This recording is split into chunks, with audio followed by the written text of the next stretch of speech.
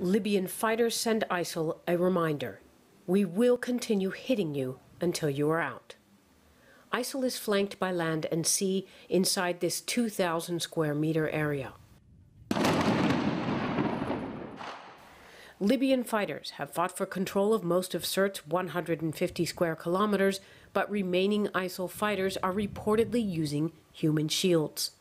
I'm at the last point in this position before we get to ISIL territory. The ISIL territory is a few hundred meters down the road where that truck is heading toward right now. Um, there's a black ISIL flag signifying that.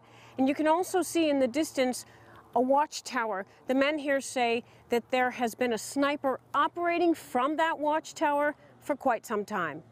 This area has been cleared out, but we have to speed through places like this to avoid sniper fire.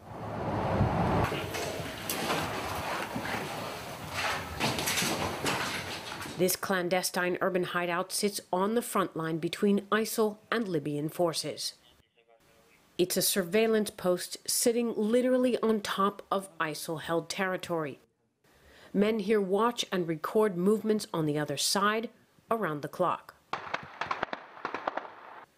This image of an ISIL operative was captured days ago.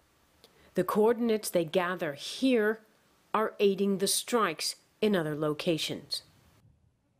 The latest, Libyan commanders fear escaped ISIL operatives may attack forces from behind the front lines. Stephanie Freid, CCTV, Sirte, Libya.